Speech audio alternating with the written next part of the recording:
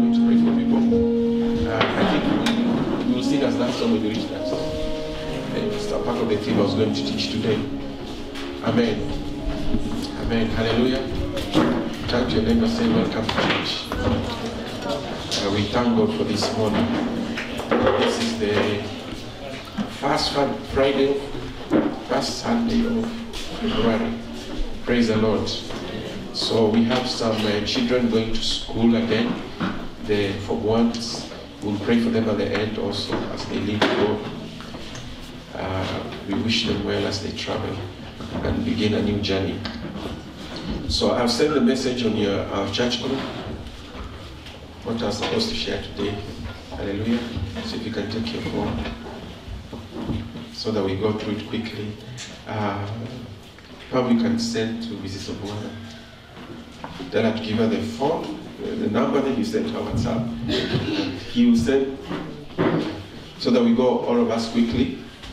Uh, the message is also online, but I'll add some things that we didn't have time to add online. Praise the Lord. But I thank God for that song because that's the message I wanted to share about today. Praise the Lord. Our Father loves us. You're going to see it very clearly. I think sometimes when we read through the word, you know, sometimes I read through, Try to read through complete books, like I'm going through the book of Job. It's a difficult book, but it also it has a lot of hope. Praise the Lord. Even if you're going through difficult times, the book of Job offers a lot of hope. Yeah. He keeps on pleading that I have a witness in heaven that will speak to my Father on behalf. Hallelujah. Because he was being falsely accused by his friends. He said, I have a witness in heaven. So all of us have a witness through Jesus Christ. Praise the Lord. So today we're going to look at the seven benefits of knowing the glory of God in his name. Praise the Lord. The seven benefits of knowing the glory of God in his name. I think I shared this New Year briefly. When we fasted for seven days, we were asking the Lord for three things. Number one, we are asking the Lord that He teach us His ways. The second thing we prayed was the Lord will teach us what? Manifest presence in His life. Like Moses cried out, Father, if your presence does not go with us, we don't want to go. Um, on Friday, we had a deep briefing in the office, and during the Tuesday prayer meeting, yeah, because that was Steve was sharing how the Lord challenged him on that scripture, where the Lord just put in his spirit the children of Israel. Some of them wanted to go to the promised land without the Lord. If you read in Deuteronomy chapter 4, and I remember Moses told them, let them go. But they were totally chased down from the mountain. Yeah, you cannot go even your promised land without the Lord. The promised land is his promised land. Brothers, if you yeah, we really need to pray that the manifest presence will always be with us. Then the other thing Moses cried out was, Lord, show me your glory. And so I want to speak that part. We'll read together. It says in Exodus chapter 34, verse 4 to 8 says, So Moses chiseled out two stone tablets like the first ones and went up Mount Sinai early in the morning as the Lord had commanded him. And he carried the two stone tablets. Then the Lord came in a cloud and stood there with him and proclaimed his name, the Lord. And he passed in front of Moses, proclaiming, The Lord, the Lord, the compassionate and gracious God, slow to anger, abounding in love and faithfulness, maintaining love to thousands and forgiving wickedness, rebellion, and sin. Yet he does not leave the guilty unpunished. He punishes the children, their children, for the sin of the parents to the third and fourth generation. Moses bowed down to the ground at once and worshiped. Hallelujah. Now, when the Lord came to Moses, the Lord he had cried out to the Lord in Exodus 33, "The Lord show me your glory." So the Lord told him how it will happen. You'll go to the mountain, I'll place you on my rock, and I'll pass in front of you and declare my name. And that's exactly what the Lord fulfilled the next event when Moses went to the mountain to replace the tablets. The Lord used that opportunity to come and meet him. It's interesting when the Lord came, he proclaimed his name in the third person. He did not say, I am the Lord, I am the Lord. He said, The Lord eh? there? Yeah. Because I believe Moses had experienced that one before the Lord called him, when the Lord came and proclaimed his name. I'm Yahweh, the God of Abraham, Isaac, and Jacob. But now he fills into this name the details of what that name carries. And this encounter was so strong that Moses fell down and worshiped. Hallelujah. We're going to see what this means. What does compassion mean? Okay. So I've done some studies in classical Hebrew, so I'll teach you some classical Hebrew. Compassion means the chief passion a human being carries. Okay? It's the best of passions. It's the person in the chamber of water. When a mother is carrying a baby in the womb, it's called compassion. And the word means to cradle in one's arms to protect. The picture is taken from a house surrounded by a wall. Okay? A refuge functions as a place of hiding from any undesirable person or situation. So this picture shows us God has compassion means God places a wall around us. And it's the most powerful emotion that the Father carries. And I know because of the situations you're going through, sometimes it's very hard to believe God. God, if, why not cradling me and covering me? But we're going to see one of the benefits why God allows us to go through difficult times. It's because He cares for us. Hallelujah. Yeah, we're going to soon read the benefit that was to Job. Okay. Another thing he proclaimed was a most, the most gracious one. Okay. That grace means providing a rescue and help to another in distress. And actually, the direct translation of grace in classical Hebrew is beauty. Grace is the beautiful part of God. Hallelujah.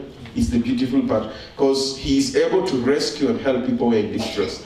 If you read the Bible, you can see again and again, whenever people cried out to the Lord, the Lord will come to their rescue.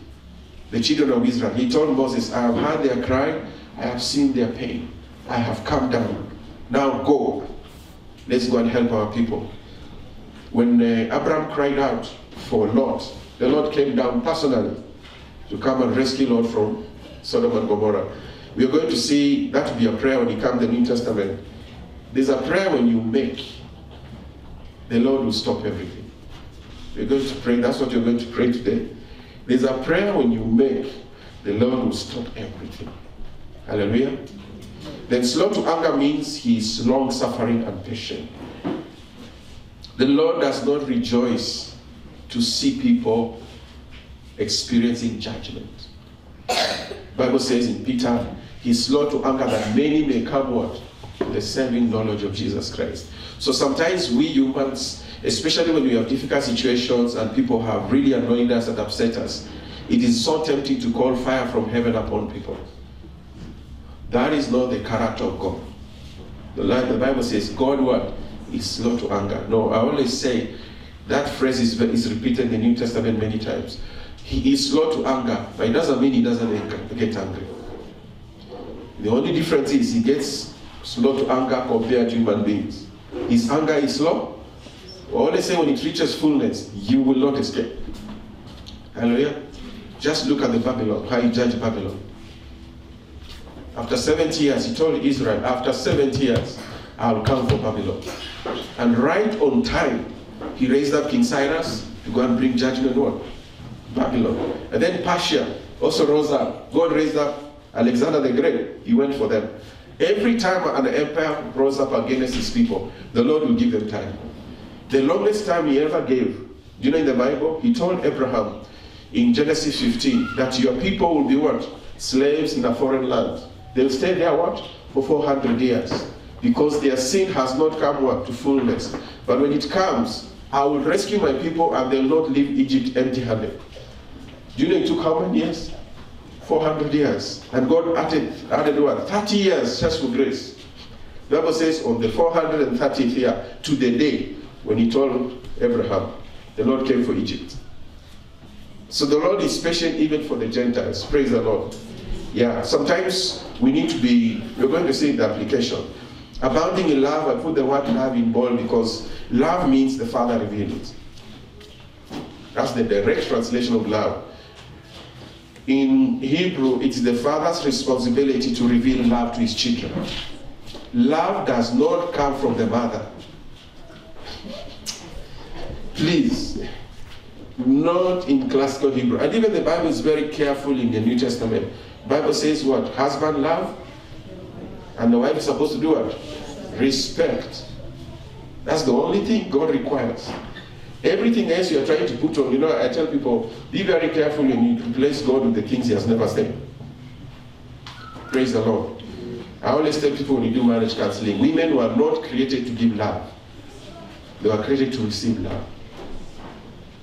That's all. That's what I learned from Derek Prince. You know, those books you teach, teach until you get it. So, the same thing, children are created? To receive love from the Father. Fathers, we are responsible to reveal the Father's love to the children.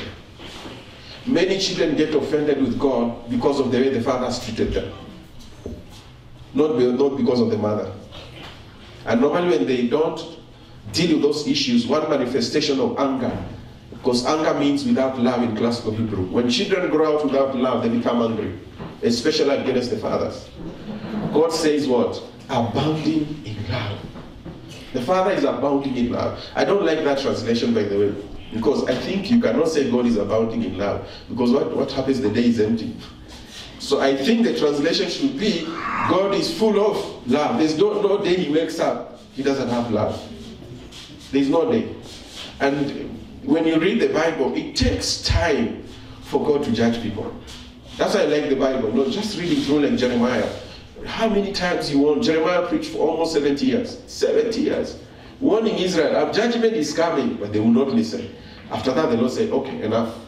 I have to deal with this thing because of my justice. So God takes time. Okay, we're going to see the application. Then he says, abounding what? In faithfulness. There's a scripture like in Proverbs that says, who, who can find a faithful man? You know that scripture? You never said, who can find a faithful woman? Because also faithfulness now reveals the motherly part of God.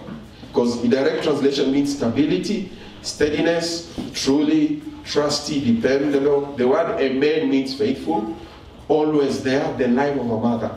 A mother means someone who's always dependable, that the children can know no matter what happens, my mother will be there. So, today's not even a healing. Eh? I'm not going to make an altar call, just take it. When you're called to be a mother, your children depend on you. If that's the part God has given to mothers, that you should be there no matter what the cost, just it. Okay? That's what means faithful. Actually, the, the, life, the translation is the life of a mother. It's the same word used for faithfulness. The life of a mother in a family. Okay? Continuity and stability. Praise the Lord. Then he says, maintaining love to thousands. This one I like it. When I say this phrase, I always say, Father, I'm there. I've experienced your love. Those thousands you're going to experience your love in this earth. Lord, I am there. And I thank you for it. That I've been able to experience God's love. Then he says forgiving. He says he forgives three what? Three things. Wickedness, rebellion, and sin. And I always say God knows English. Eh? So those who has not been the same. Sin, God can forgive easily. Rebellion, ulizanga Satan and King Saul. That one the Lord will time you. but wickedness, you really have to cry out to Him. It's not easy God forgive wicked people. But the Bible says still He can. And we have examples. He forgave King Manasseh, who lived for 55 years. He killed so many people in Jerusalem. Bible says blood was flowing like a river. but Manasseh repented. You know he's in heaven. Manasseh is in heaven, my friend. After killing so many people, one day he cried before he died. Another king that was horrible was who? Uh-huh. King Ahab. The Bible says he cried out, the Lord forgave him, he fasted, the guy is in heaven. The guy was so wicked, he became a saying in Israel. God will say, I don't want it like King Ahab. But when the day he cried out of wickedness, the Lord said, Okay, you have touched my heart. Another wicked king was who? Nebuchadnezzar. He's in heaven. He made it. If Nebuchadnezzar made it, you will make it. Because those days kings were, were not even rulers, they were gods. They had to be worshipped. But in his suffering, he proclaimed in Daniel chapter 4, declaring the God of heaven, the God of Daniel shall be our God, and made a decree. Everyone shall worship this God. And that's how Nebuchadnezzar departed the world. King Cyrus, God says, my righteous servant, he is in heaven. Tell your neighbor there is hope. I've heard a man of God say many years ago, he used to say, if Samson made it, my friend, you can make it. Eh? Samson made it. He barely made it. Barely. How did he make it? On the last day, he cried out to God, just give me one more strength. To fulfill, Samson fulfilled his mandate that God had been trying to train him for all his life in one day. And actually in one cry. Because Samson was called to destroy the Philistines. He failed to do it, but when he was captured as a prisoner, he did what? He cried out to God, and God eliminated the Philistines. God gave Israel a break. So what I'm trying to say, these parts, uh, forgiveness means what? Let's go there, because I trust to. It means to continue to hold. The word is for forgiveness. In Israel, they'll take a, a flag. Every tribe had a flag. They'll do like this, and the flag will have become a standard. That's the direct word for forgiveness. It means to lift up a standard. It means to lift up a burden that someone is carrying. That's it says, God said, Jesus said, forgive us our debts as forgive other, those who have. Okay? You cannot forgive your debt if you don't forgive others. Jesus said it. Forgive us our debts as we forgive others. So lift up the barriers and the burdens of other people. The Lord says, I will lift for you also. And also he says, blessed be merciful. Then I will show you what. The initiative is from who? God or us? Us. Okay? So forgiveness, when God lifts the burden of sin, he carries it. That means he raises up a standard. So, we go very quickly because you have the notes. Number one, what are the seven benefits of the glory of God in his name? Because he was proclaiming his name when Moses had this encounter. The first thing, it teaches us how God deals with his people. Psalm 78, you realize what Moses was shown is repeated the whole Bible. And for me, it was surprising because I realized there are two kinds of prayers in the Bible. There are prayers you, you address God's character, and there are prayers you address God's hand. And I know most of us like the hand. All of us want to see the miracles and the power. And it's the Bible, it's allowed. Like when God rescues you from our enemies, that is the power of his hand. But this one, when you address God on his character, he gets very emotional. He always answers. Hallelujah. So he says, the first benefit, he teaches how God deals with his people. Psalm 78, 36, 38 says, But then they would flatter him with their words. Sometimes we flatter God with our words. And we lie even to him with our tongues. Okay? Their hearts are not loyal to him. They were not faithful to his covenant. Yet he was what? Merciful. And he forgave their iniquities and he did not destroy them. Time after time, he restrained his anger and did not stir up his wrath. The Lord is talking about Israel when they were walking from Egypt to the promised land. And he ends up, Psalm 78 ends up when God said, God got so tired. In Psalm 78, he said he went to look. That's the scripture say that even the tribe of Ephraim, in the day of battle, they refused to fight. So the Lord judged them. So God said, I'll go look for another tribe. He went and looked for Judah. And says, From Judah I picked up David, a man after my own heart. That's when they were able to enter the place of rest. If you read Psalm 78, it's a good scripture to really meditate. Okay? Because it took a process, not because God was slow. God was merciful because again and again, from the time of they left Egypt to uh, David, uh, King Solomon, when King Solomon took over, the Bible says it was 480 years. It took a long time to rest the God's people, not because God was slow, but because of their sinfulness and their wickedness. God had told Israel, if you obey me, I'll take you from Egypt to the promised land in how many days? 11 days. But because, so what I'm trying to say, these are pictures of our journey with the Lord. When things are slow in your life, it's rarely on God's side. It's us. He says, many times they'll tell you, we love you, we love you. But their hearts were very far. But he was merciful. He says he was merciful. He forgave their iniquities and did not destroy them. We see There's something you need to understand. Maybe those who are in perspectives class will understand. Uh, when you reach the book of Revelation, I'm really praying you reach the book of Revelation. And maybe the next chapter you're going to do the third book on the mysteries of the kingdom. That one, if you don't get changed, me, I don't know where you, where you never. If you don't change that chapter, that book, you need mercy. Because this guy was shown mysteries that are very difficult for that church to understand. Why the Lord is determined to keep human beings on the earth is to prove Satan wrong. From the beginning, Satan wants to make sure he destroys everything to show God that he's powerful. But in the book of Revelation, even in the chaos of the three and a half years, the Lord will still have a people. Satan can never win this battle. Yeah. And actually, it will be the greatest manifestation of the power of God the world has ever seen. It will happen those three and a half years. The Satan will be running everywhere. You know, this idea of teaching people will be running away from Satan, it depends which Christian are you. If you're the outer court Christian, you'll be running for your life. If you are the church, you'll be hidden in the wilderness. If they were comers, they'll be chasing Satan. So choose. Tell your neighbor, choose. Yeah, please. Me, I'm not in your tribe. I'm not the tribe at least of being chased. Me, at least, I either be in the wilderness or I'm the one chasing Satan. The book of Revelation is very clear. The sons of God are going to mess up Satan's kingdom. They'll be so successful, Jesus will come from heaven with power. Why? Because the bride has proved a point. You cannot win the battle. Jesus won it on the cross, by the way. Satan can never improve on it. Jesus wants now the church to win the battle. So he'll rise up this tribe, the sons of God, the manifestation of his power. These people will be unique. So don't worry. We always say, there's another thing you find in the history of God's people. Satan is always stirring up trouble to destroy Israel. You understand? God will never allow it. The Jewish people will outlast Satan. Because his plan is to stop everything. So I'm trying to illustrate the way he treated people in Psalm 17 is the way God deals with us. By the way, even if you flatter God, you're not the first one to flatter God. You know, flattering God. God, you're very nice. God, you've been gracious to me. I will love you forever. And then you wake up no morning, you beat your wife. The Lord says, What? I thought you loved me forever.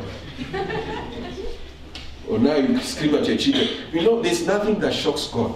Actually, I in our generation, okay, I know what is happening in society. Lesbianism is coming up. You know, it has been there since from the beginning.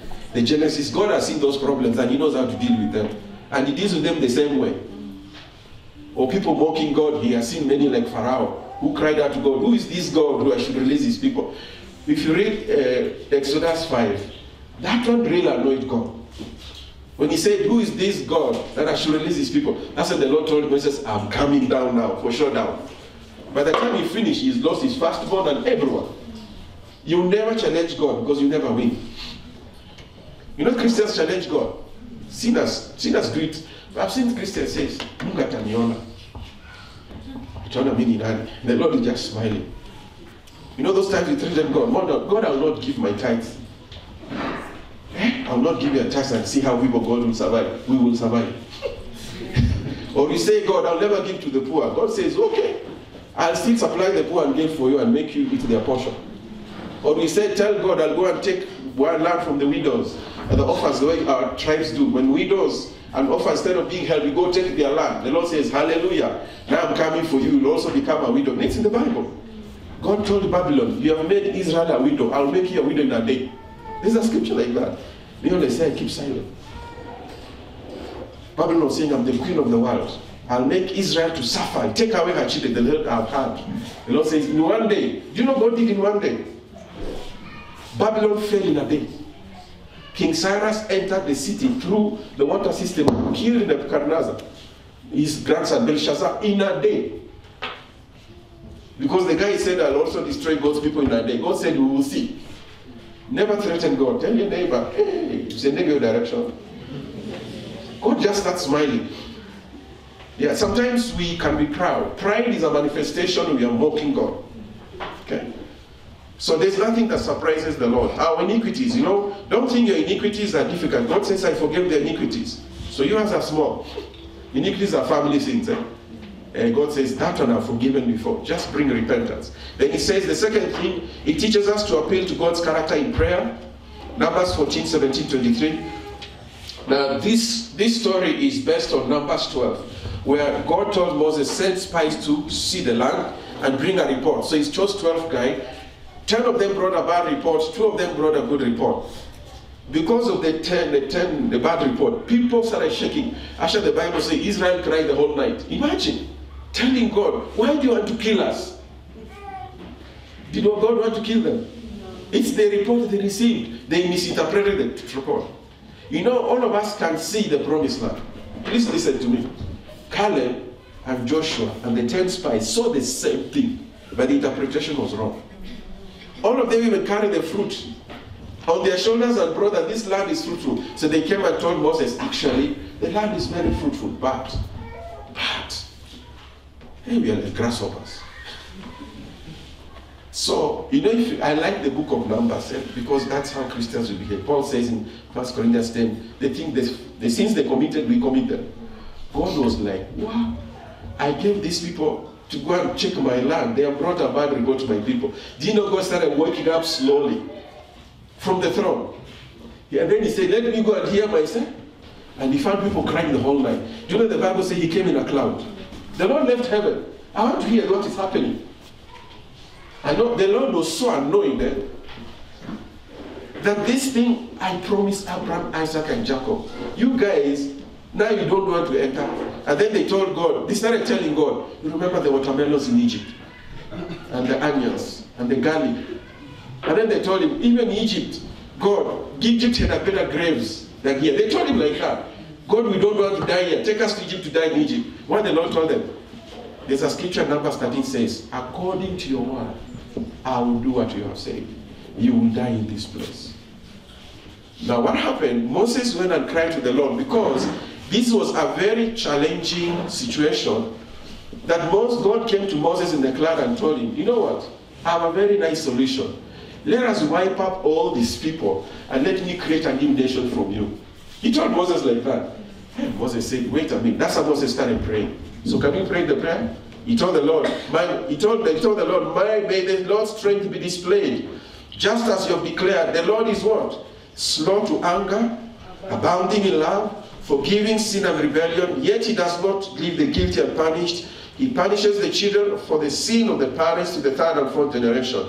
Then Moses told the Lord, in accordance with your great love, forgive the sin of these people, just as you have pardoned them from the time they left Egypt until now. Verse 20, the Lord replied, I have forgiven them. Moses appealed to his character.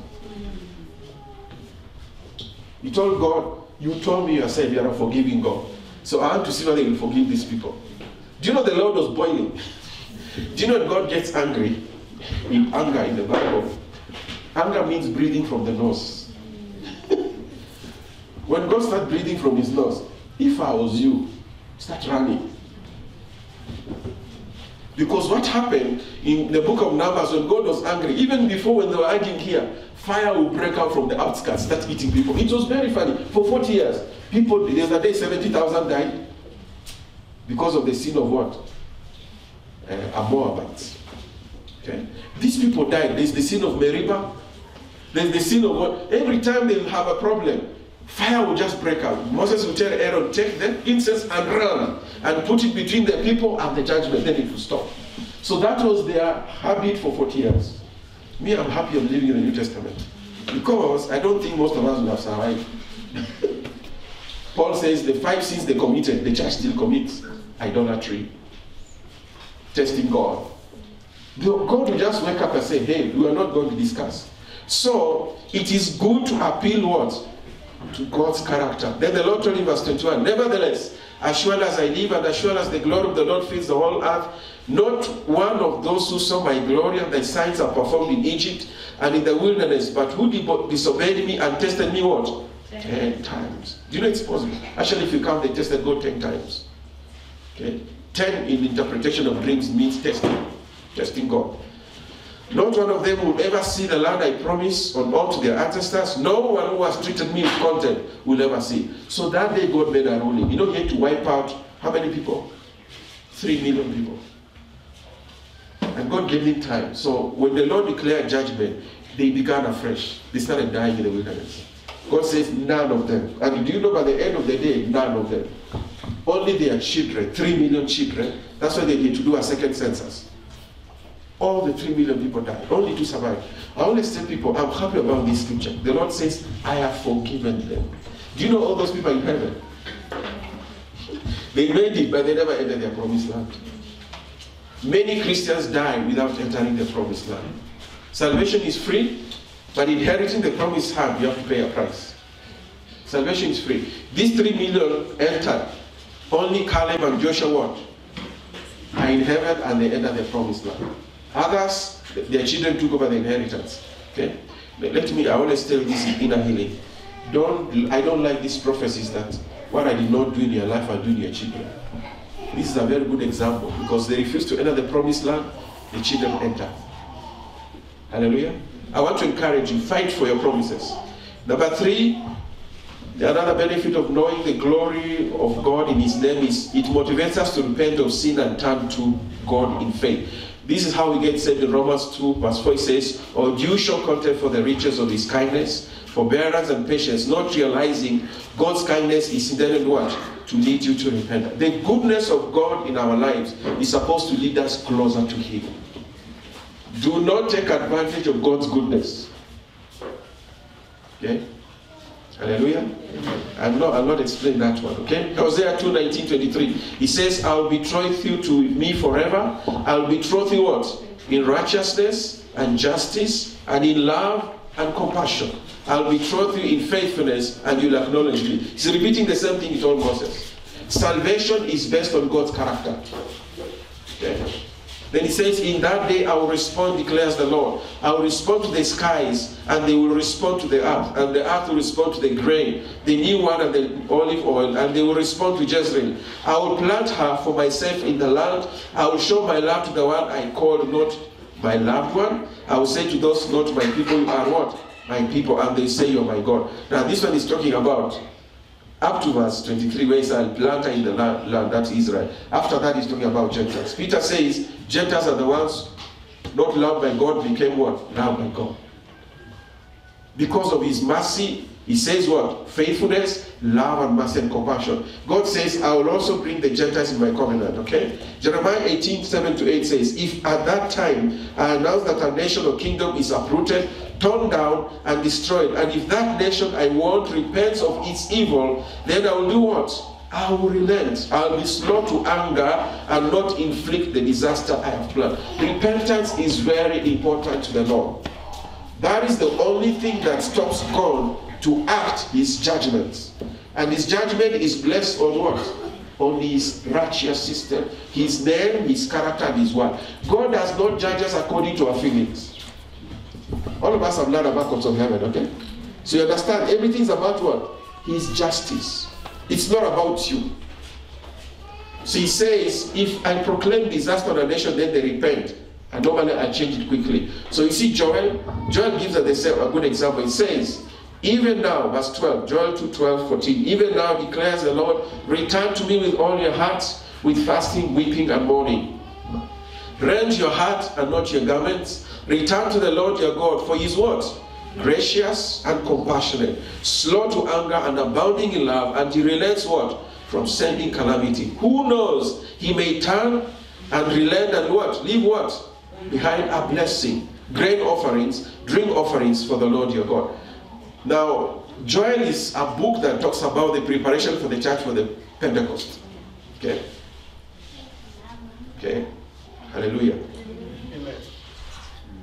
So, this is my understanding. Before the Lord had to pour out His Spirit on the church, the church had to go through what? Repentance through the death of Jesus Christ. When Jesus died, He paid the price that the Lord can send the Holy Spirit on the holy people. That's what it means to me. Because Joel, Peter says Joel was fulfilling what Peter, uh, Peter said, Joel fulfilled what the Lord said. Pentecost follows Passover. It's very important to see Joel is saying, even when you're returning to God, why are you returning to Him? Because He's what? Gracious, compassionate, slow to anger, and abounds in love. So it changes the way we ask for repentance. Okay? You know, sometimes you can go to the Lord to pray repenting, but the Lord is wondering what is the basis of your prayer. Okay? You know, tears not move God. Okay. Some tears, not all. I'll be disclaimer, some. But if tears moved God, then uh, uh, what's his name? Esau will have gotten his blessing. He cried for it, but he never got it. The Bible saying, why is it he was denied the blessing? He cried, but he was not repentant. Paul says clearly, do not cry to God and not repentant. And let me warn you, it's not good to go and repent and go back to the same mistake. That is not repentance. We are going to see from Jonah, when you repent, one key there is to turn from your evil ways. If you're going to get God's attention, it's not important to repent or to cry. God says, change your ways, then we can talk. Do not be caught up. Oh God, I fasted 40 days, but after 40 days you went back to the same mud. The Lord is wondering, when are you going to change? Okay?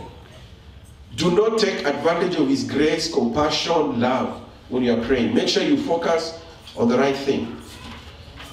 Number four, knowing the glory of God in His name provides the basis of why God rescues His people from judgment. So you have two examples. This is the basis He rescued Lot and his family from Sodom and Gomorrah. Genesis 19, 18 to 19. Lord said to the angels, No, my lords, please, your servant has found favor in your eyes, and you have shown what? Great kindness to me in sparing my life. So he was aware that he was saved because God was kind. God does not save us. You know, how many, how many know 9 11? You know 9 11? In 9 11, it happened. I remember the day I was, I think, of Daystar, I was in school. I doing a course in Daystar. When it, no, that was 97. 97, when the bomb blasts. But, but 2001, I remember, you can remember the day where you are, when you saw those planes flying into a building. Do you know how many Christians were shown by the Lord don't go to work that day? But still some went. They died. Hallelujah. Those are, um, please don't tell me that God chose these ones to die. No. We only say, before you conclude those things, go back to the source. Where is it they missed God? Maybe they were not listening. Okay. And I know of a man of God, Robert Henderson, he was shown by the Lord why 9 11 happened. He was shown, he went to the courts of heaven, and the Lord told him, There's a particular demon in the sea that the Satanists wanted to activate. You know, they always want the world government. They always want these things. So when they activated it, they, the Lord told him, the church did not come to me quickly. So I allowed it to happen. Yeah. If you buy his teachings on the details of the courts of heaven, he gives many stories. 9-11, he gives Colorado, when he was sent to Colorado as uh, an apostle from another state. He goes to Colorado and he's in the courts of heaven with these South African seers. The Lord tell him, you know, he's trying to appeal to solve some problems in that state. The, the, the dragon, the principality in Colorado came and told him, and the city and the state told him, Who are you? Why are you here? You know, the only thing he could appeal, he told God, I'm here because I've been sent by the Father in heaven. And then he was able to deal with that situation and stop what? What the enemy was planning to do in Colorado. What I'm trying to say to the beneficiaries, like Lot, they never knew someone stood in the gap. Lot never knew Abraham been praying, my friend. Hallelujah. So people can experience your kindness because of the intercession. This guy just got an angelic visitation from the Lord. Tell him, get up, pack your things very quickly. And the, the fiance refused that. Remember the fiance? He went to the boyfriends of the debtors. They said, told him, no, no, no, no, no, no, you go. Do you know that Christians like condemning what? Lot. No, Lot is not a good story. Until you read the book of what? Peter. Bible says Lot was a righteous man. Tell your neighbor Lot was a righteous man. So don't preach against him. I remember Rick Joyner went to heaven and the Lord told him, the Lord told Rick Joyner, if the church could preach the gospel the way Lot preached in Sodom and Gomorrah, I'll bring revival in the nations. Do you know that? The Lord told him he was a righteous man and he preached. He preached to Sodom. He was not enjoying the fun Sodom and Gomorrah. He preached to them. Hallelujah. And other people you like complaining is Jonah. We're going to see Jonah. Jonah had a revelation of God the church has no clue up to today. Do you know anyone who was put in the Bible as a righteous man? My friend, they qualify. I pray you qualify. Yeah. For those people, even Samson with these problems, he's the he's the hall of faith. You know, it's the hall of faith. He's in the list. I will say Samson. Samson made it, my friend. I have to make it. The guy had many problems. But do you know what caught God's attention? The Bible says, by faith. Samson's faith activated a miracle in Israel.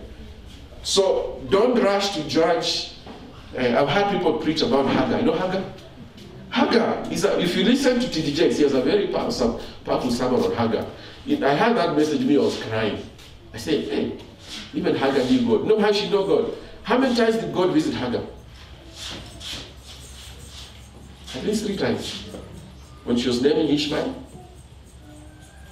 when she was chased away, and when she ran away, God provided food. Hagar, it was a righteous lady. Please, don't preach that message that she was taking someone's husband. Disclaimer. but it's true. Was she the one taking the guy? No, sure. She was invited in the camp. Please, she was not a bad person. Okay, men don't extrapolate from there. no, don't invite someone in their camp. That is a sin. But Hagar never knew what she was. She was just told to go and work. How she went to look for a job. Are the other things? Another person who invited in the camp was who? Bilhah and They were just invited to be house girls. They became mothers. No, Pastor, a lot of people don't like preaching those things. Me, I like seeing the Bible. The Bible is a book of drama. Well, you read some things, you close your eyes, but don't say, just continue reading. and Zilpah and Bilhah did what? Gave how many sons to Jacob? Were they counted part of Jacob? Yes. Was they were their mistake? No. So I only say all those children that are outside there, you know your children. Go look for them. That's the application. Don't come to pastor and tell me, eh, I'm not going to take care of my children. You are not a good Christian. Me and Bade, you guys who are new to church, when someone comes for counseling in a healing, I'll tell them, go look for your children and pay school fees. This idea of having a limousine, eating from Java, and you have children outside there in the village because you love one wife. Take care of the one wife. But the children, my friend, if they cry to God, the Bible says if they cry to God, God will visit you. God says he hears the cry of the poor and those in distress. So if you have children outside there, listen to me. You know yourself. Go and take care of them. Those children, you may never know they're part of your covenant. You may have made mistakes, but the children are not a mistake. Otherwise, you need to subtract Jacob from our Bible and subtract Abraham. If you take away Abraham, where is the father of our faith? You know what I'm trying to start? Christians must learn what? Love, compassion, abounding faith. Those things we need to carry when you're dealing with fellow human beings. Some of us were in problems not because God planned it. Tulipatikana na tujui nini ilifanyika. Have you been arrested falsely? Me have been arrested falsely twice. And I was being accused of being a drug dealer. I was like, God, how mercy. because my mistake was helping some people I was in campus to find direction to the Saudi Arabian embassy. The next thing the police came to me, you're a drug dealer. I pleaded mercy. I didn't call me, I didn't have to pray those days. I was born again. The guy asked me, where do you go to church? I told him I go to church, this church. Who is your pastor? Pastor Wilson Babaleo. Oh, that's your pastor. Go. It's good to have a pastor like that. He's not. I escaped. Hey, and they told, the guy told me, never help Nigerians, never help Ghanaians, Senegalese, those people, even if they kneel down and their pastors, don't help them. Do you know twice those people are believers? Those drug dealers are believers. They're the Bible, my friend. True story. I was caught twice. It's me, I lived in West Africa, by the way. But me, I lived there with my eyes open. I'm not like these people who see Nigerian preachers and start shouting. My friend, you have no idea what you're doing. But then people say I'm against Nigerians. I'm not. I'm saying the reality, and they know it. But then they know it. I have Nigerian friends, they know they have problems in the house. People say I'm backbiting. I'm not. Me, I tell them. My best friend in Ghana was a Nigerian missionary. He came and told me, Adeniyi, he told me, Pastor, if you ever come to Nigeria, make sure someone picks you at the airport in Lagos. Lagos is a dangerous city. And the guy is a Nigerian, my friend. It's me, I've never gone to Nigeria.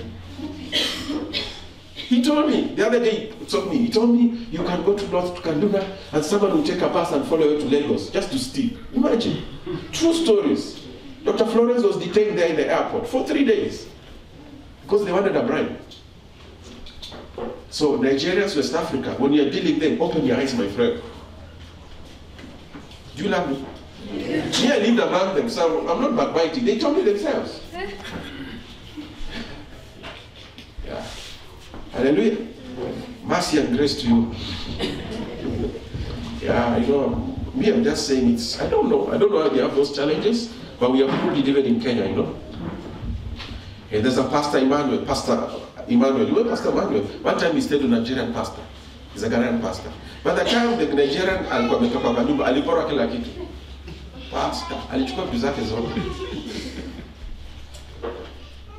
Wake up and smell what? The coffee. Not everyone who says, I belong to the Lord is the Lord's. Okay? So let's continue. Jonah, this one I like. I'm still talking about God rescues us from judgment. One benefit.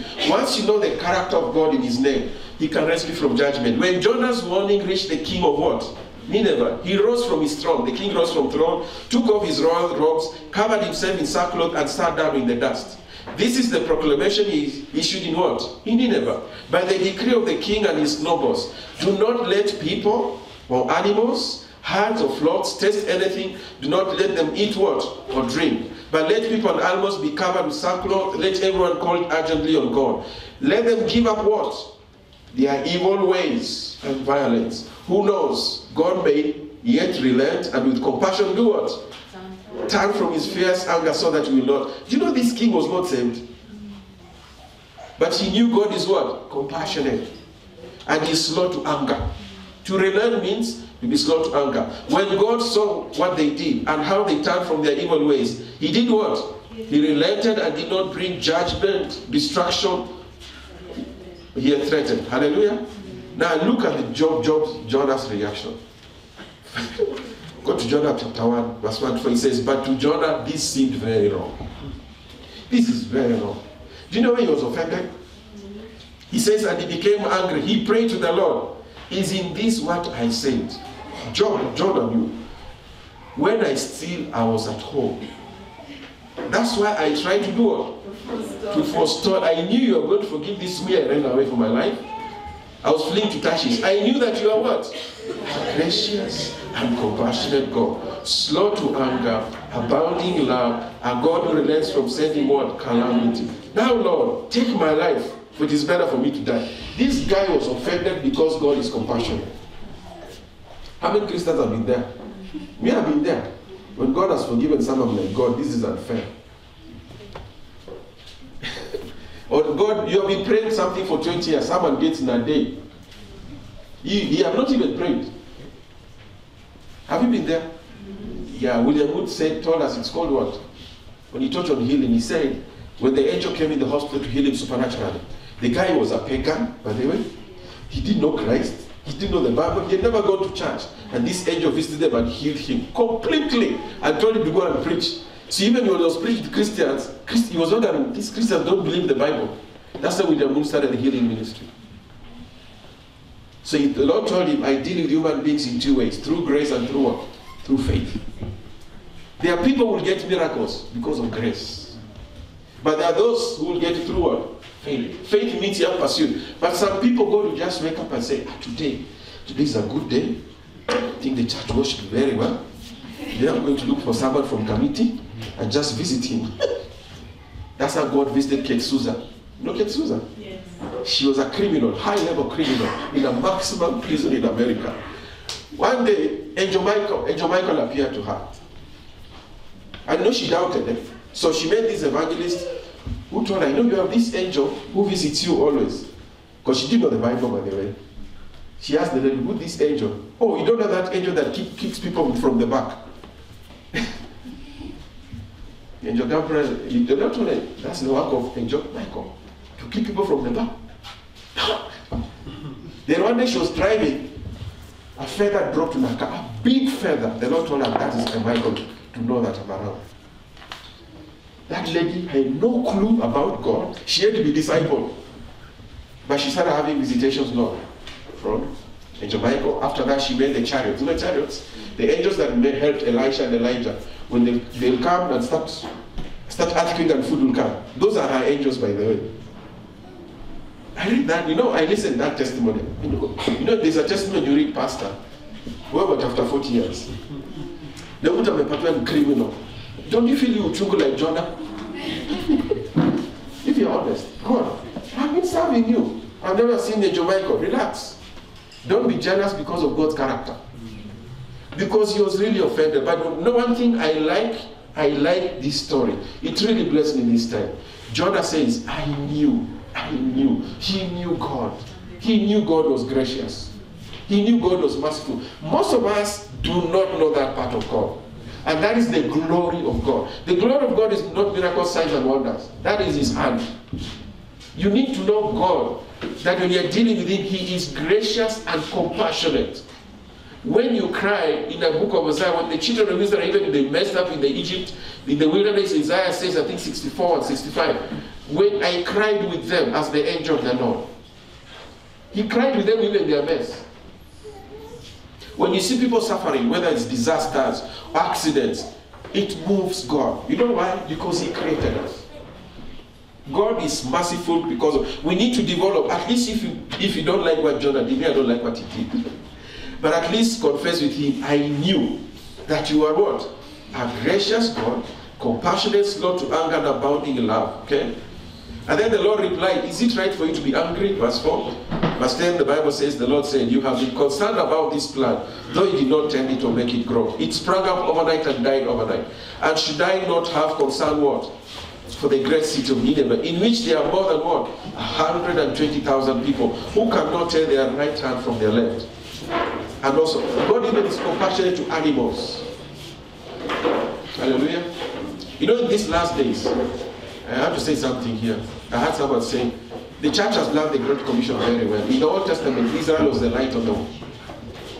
Everyone to Israel. If you wanted to follow God, you went to Israel. Then Jesus said, now go to the next nations. Now, in the kingdom age, what is God going to teach the church? To deal with creation. Start, start practicing to deal with cats nicely. Me, I don't like cats. Because it's just a bother. But the Lord challenged me. Even God is concerned with animals. Be kind. You never know they'll save you from an earthquake. Be kind. You know, this is a discipleship issue, my friend. Start getting used to relating well to creation. Creation is not the problem. Romans is the sin we put on creation that makes them up. So the Bible says creation is waiting for redemption. Why? When the sons of God came. So that we can relate to them in the right way. There's nothing wrong. I read a, a story in, in Job.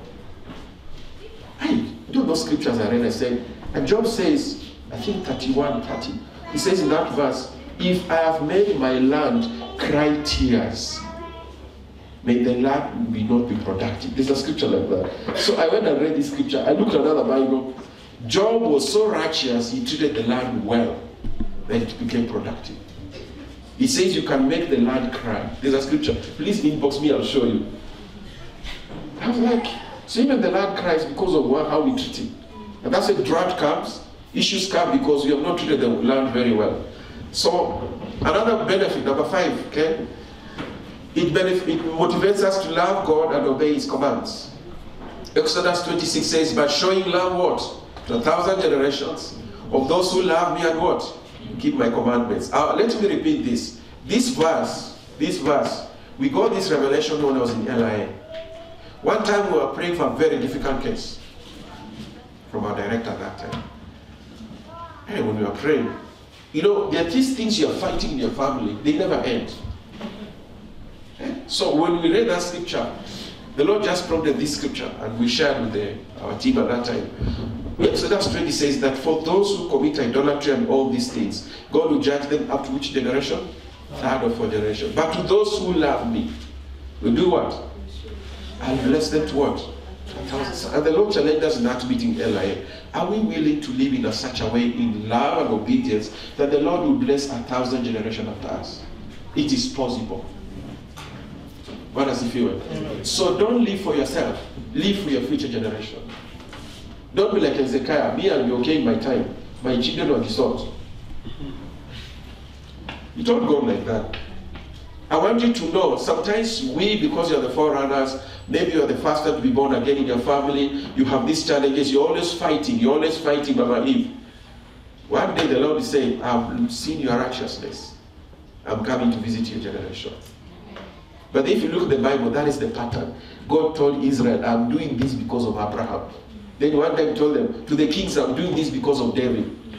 The people may be messed up, but the Lord will say, I will remember the sacrifice of this family to some. Live right, follow God, keep his commandments for the sake of your children. Praise the Lord. Number six, it motivates us to be patient and persevering when you are tested through suffering. So knowing the God, God, the glory of God in His name. This scripture also really blessed me, okay? Because I was going through the book of Job. James 5, 7, 10 to 11 says, Be patient with bro- brothers and sisters until the Lord's coming. See how the farmer waits for the land to yield its valuable crop, patiently waiting for the autumn and spring rains. Brothers and sisters, as an example of patience in the face of suffering, take the prophets who spoke in the name of the Lord. As you know, we count as blessed those who have persevered. You have heard of Job's perseverance and have seen what the Lord finally what? Brought about. For the Lord is what? Full of compassion and mercy. The reason the Lord returned, uh, he had seven daughters, I think three sons. The Bible says he returned double, plus his wealth, because the Lord is full of what? Compassion and mercy. God did not want to see Job die with a lot of brokenness. He decided to return double. I don't how many children he had, 14 now. Okay? But the Lord still returned it. You know, I haven't read the Bible the way I like reading the Bible. This is the lady was complaining, curse God, curse God. Okay? Hallelujah. God did not return another wife. Praise the Lord. But with the same lady, he got how many children? 14. Seven. Ten. Because he said he returned double. Ten. The last time. Before with that, before he seen how many children did he have? Ten. And after that. Ten. So children are not double. Yes, double because in heaven they are the ten Okay, but at least the animals I counted they were double. You know what? Because he's full of compassion and? Mercy. You know, let me say like this. You know, you have seen people have gone who have lost children for many reasons. The Lord is full of compassion. He is able to say, okay, I will return this. Or someone who has been barren like Hannah in the Bible. God says, okay, give me my Samuel. How many children did he give Hannah? Around five. Yes. So God says, I'm full of compassion. I've seen your tears. So I'm going to give you many children. I remember there's this man of God called Chuck Pierce. His wife was barren. Okay? Me, I like biographies. You like the preaching, I like the biographies. I want to know what made this man. His wife was total barren. So he prayed, prayed. One, one day, many years, the Lord opened her womb. That's why Chuck Pierce has never practiced birth control. Do you know how many children he has? Almost 10. He told people, I look for children. Now when I get, now I have. And all of them have been raised. One of them is a prophet, by the way, in Israel. That's how God is full of what? Compassion and mercy. Let me tell you, God is moved by our suffering. He was moved by the suffering of Job. But Job never knew it was a test that God had committed himself to make sure Job must pass. So do not let our pain, our suffering, think that God doesn't love you. Just around the corner, like these prophets, the Lord will do what? Show you full compassion and mercy. Then finally, this one is what really blessed me most. It motivates us to align with God by putting on His character. So let me say something the Lord showed me, okay? Because this was like the third part. In 2021, you know, we're in this class of path of discipleship, so you know, we ask questions. So the Lord started showing me when Jesus said, I'm the vine and you're the branches. That is you must and a type of baptism of union because God is giving you His life. All you need to do is hang on the branch, and the life will flow through you. Okay? So then I remember I had gone to God, I had gone to a garden of the Lord. The Lord told me this thing is the Bible. Then the next thing He showed me, remember when Jesus says, My brothers, my sisters, and my mother, those who do what? The will of So that's another divine alignment. So you have divine life, but also you have divine will. That's why submission, that song they it is very important. Please don't fight God. If you fight God, you will never align. And I always tell people, God is not here to implement your issues. As good as they are. God is interested to implement what? His will. So what he does, all the struggles you do discipleship, the flesh, the world, the Lord is trying to align you so that I do my will. All of us have good desires, but I guarantee some of them are not from the Lord. Some of you want to be the richest people in the world. Did God call you that? Answer, please. Please answer me. God never called you to be the richest person in the world. God called you to be the most obedient person. Jesus said, Father, my body have given to you. It's written on me the scroll that I do your will. That's all. All these other things, if we seek the kingdom of God, He will add. But it should never be the negotiating point. Hallelujah. It should never, because once we confuse, how will you align? How will you go through the baptism of union and the will of God is not your will? How? Tell me. And then the Lord told me, this is the third part. The third part, his character must become your character. Because some of us, the reason the will of God is not fulfilling, your character is fighting him. So when God looks in your life, like Micah 6, he says what? He has shown you, O mortal man, what is good. What does the Lord require of you? To act what? Justly and to love mercy and to walk humbly with your God. God has to see these things in my life. I have to be just. I have to be merciful and have to walk in humility. Then he says, Zechariah 7 9, this is what the Lord Almighty said Administer what? True justice, show mercy and what? Compassion to one another. Matthew 23, verse 23. Woe unto you, hypocrites, eh, teachers of the law and prophet Pharisees, you hypocrites. You give a tenth of what? Your spices. That is mint, dill, and cumin. But you have neglected what? The more important what matters of the law, which is what? Justice, mercy, and faithfulness. Is he not quoting Moses? Yeah. God wants to see, Jesus one time told his disciples, I desire to see mercy instead of sacrifice. Those things you should pray they become part of our life. Now, the justice I'm talking about, the justice of God. And let disclaimer: the justice of God is not the Kenya government justice. Okay, the justice of God, the word justice in the Bible means to walk in the straight paths of the law in every area of your life. That is justice. It's not attacking your enemies. Sorry. If you check the word uh, tzedek, righteous, it means to walk in these paths. That's what called a righteous man. It's nothing to do going to court and fighting people. You know, Kenya's gone the street, we need our justice. I always say, which one? Do you know, by the time you reach on the street justice, God is wondering in heaven. And what about the widows in Kenya? What about the refugees? Don't think they need justice also. If I come down on behalf of widows, orphans, and refugees, I'll ban Kenya. So that's what God has done those things. Because it's like we really don't care for his heart. We, we, we don't care what God cares about. I want to encourage you, pray. One of the mistakes the Pharisees and teachers of the law are hypocrites. This is one reason. The other reason is Matthew chapter 5, where Jesus told people, unless your righteousness is greater than what? The righteousness of Pharisees, you cannot serve my kingdom. What was he saying? Pharisees were not practicing what they taught. We have to practice what we teach if you're going to be greater than a Pharisee. And these guys were giving tithes. So tell your neighbor, tithes is not enough. Don't go and attack God. God, I gave 20,000. The Lord is wondering, but where is your justice? Where is your mercy? Where is your compassion? Where is your love? The Lord is saying, you, I cannot answer this until I see this in your life. Okay? God is not here to pamper us. Hallelujah. Then the last one I really like, it says, therefore, as God's chosen people, what? Holy and dearly loved. Clothe yourself with what? Compassion, kindness, humility, gentleness, and patience. We see at least three of those things Moses was told. Compassion, kindness is grace, and mercy and patience. God has to see this thing in our lives.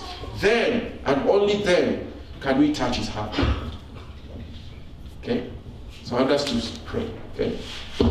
I went very quickly because of time. I want us to stand up, okay?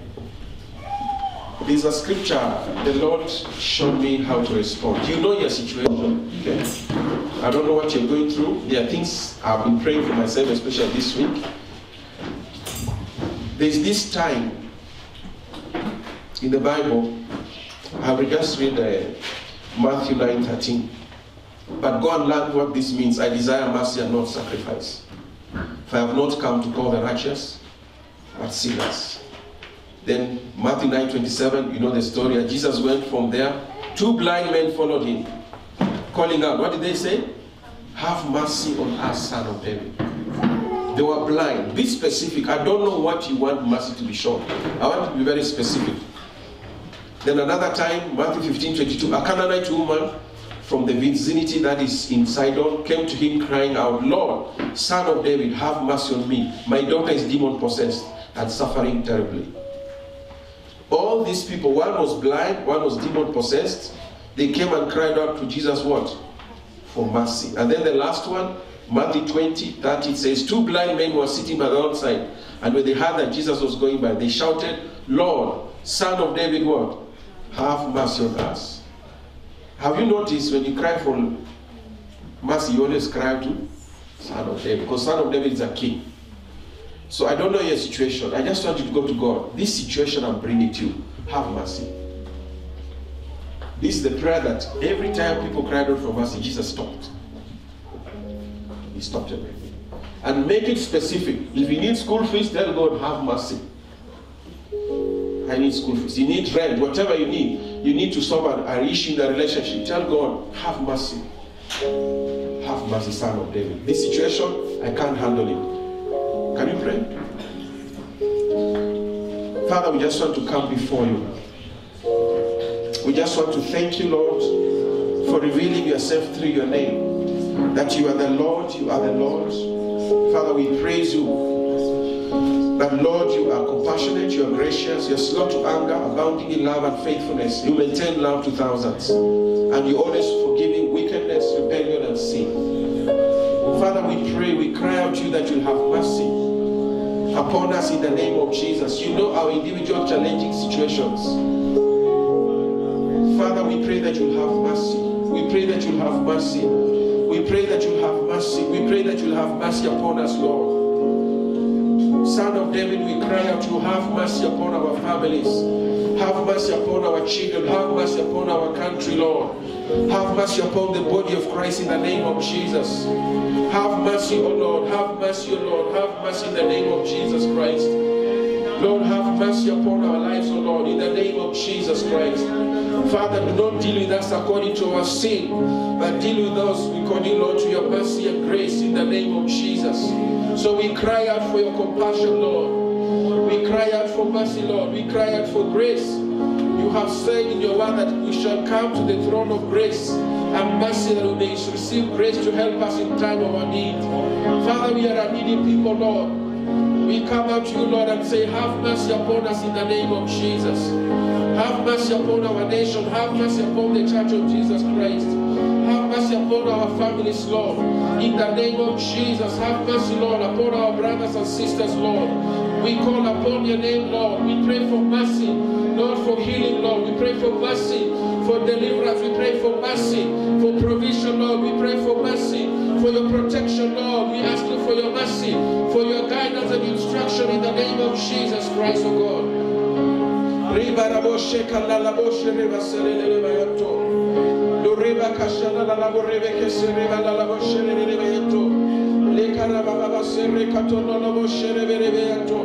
Father, we cry out for mercy, Lord. We cry out for mercy for those who are sick in hospitals. We cry out for mercy for those who are in bondage and need to be set free. In the name of Jesus, we cry out for mercy for those who need guidance and instruction, Lord. We pray for mercy, Lord. We cry out for mercy in the name of Jesus. In the. Lord Jesus, we pray, have mercy upon us, Lord. Have mercy upon our families. Have mercy upon our children. Have mercy upon the body of Christ. Have mercy upon Jesus and have mercy upon uh, the body of Christ worldwide in this season, Lord. Have mercy, Lord. Have mercy. Have mercy upon us, Lord.